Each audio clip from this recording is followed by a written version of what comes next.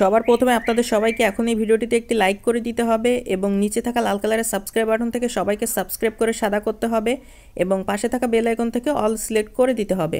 তো বন্ধুরা, বন্ধু বান্ধবরা ভ্রমণের সিদ্ধান্ত সময় ভিডিওতে দেখুন।